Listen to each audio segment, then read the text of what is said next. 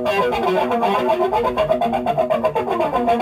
your cares, push your burdens aside, erase everything inside, and leave just one thing on your mind.